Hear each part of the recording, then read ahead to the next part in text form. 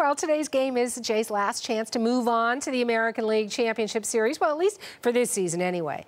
But for our next guest, it is his last chance with the team forever because win or lose, Blue Jays president Paul Beeston is set to retire at the end of this month. And he joins me live from the Rogers Center in Toronto. Paul, you still have time. You want to change your mind because how do you leave a team this hot? Well, I'll tell you what, it's fun, Suhana. And, um, you know, I don't think I'm ever going to leave the team. I'd like to think that I'm a Blue Jay forever. My uh, loyalties are not transferable. Uh, so now uh, I'm going to have the fun of being able to cheer without the accountability. Oh, hey, and the accountability can sometimes weigh pretty heavy, but let's look at the fun of the game. What's going through your mind as we head into this game five? Well, just want to be sure that we play the game well, that we play the game the way that we can play the game. We started spring training with a very solid team. Alex did some wonderful, wonderful additions uh, at the end of July. Uh, August and September were quite special.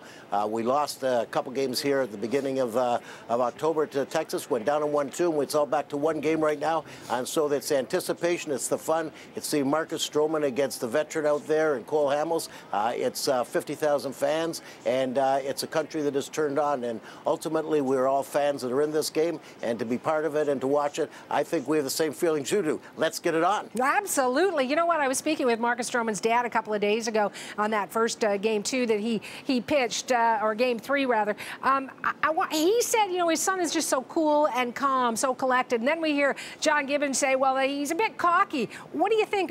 Is that a good thing?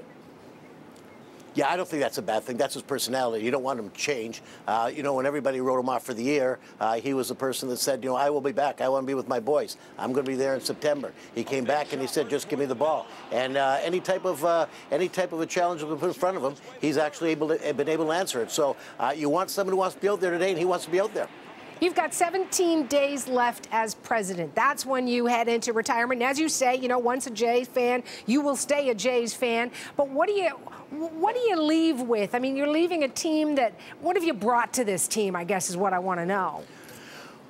Well, I don't know what I brought to the team. All I know that the team has been very good to me. The fans have been very good to me. I've quite enjoyed my stay here, and more important than that, I think we've left a pretty good foundation to go forward. So uh, at the end, you're always going to have to play that game. The best team doesn't always win, but the best team over a course of a season will. We had a great season. Uh, we're set for uh, for the future. Um, there are obviously always going to be cha uh, changes, but I think what you see right now is you see a, a city that's come together. Uh, you see a province that's come together. You see a country that's come together. Uh, we're all all in this, and uh, you know, we always they always talk in Boston about Blue Jays Nation, you know, but we are Blue Jays, or about mm -hmm. uh, Red Sox Nation. We are Blue Jays Nation. Yes, we are. And you've been with that Blue Jays Nation since 1976, the first employee hired by the Jays then. But you've seen the fans come and go. They've been hot and cold. You know, people always say fans are fickle. How important is it for the fans to be on side today, to bring that spirit down onto that field? Yeah, I, uh, Suhana, I don't think that's going to be an issue. Uh, we've watched it all through the month of September. We watched the first two games. Uh, it's not lost on our players. Our players love playing in this stadium. They love playing for these fans. They know that it's just not the people that are in the stadium, but indeed it's across the country. Uh, so it's very, very important. Uh, but I don't worry about that because they're with us. Uh, our job always was to put the product on the field. you can't ask. I don't think fans are being fickle. I think all we need to do is give them a reason to come, to give them a reason to cheer, and they become the 10th person. Final question for you, Paul. What's going on as a Jays prep? I mean, what's the message they're hearing from, from those who are helping to propel them forward?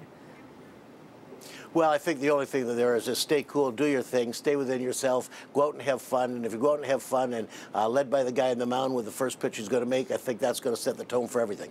Well, I hope when you leave as president that you have fun. And I want to thank you for the time. Okay, Suzanne, thank you very much, and uh, don't worry about my fun. It'll be okay. I bet it